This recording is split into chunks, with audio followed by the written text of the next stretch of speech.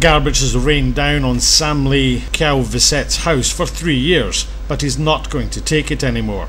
The 58 year old Soi Bongkot resident got Pattaya City Council President Sanit Bunmachai and City Public Health Department Inspector Tanawit Sompongtam to visit his beleaguered house on Wednesday to see the damage that living next to a seven story apartment called My House has caused.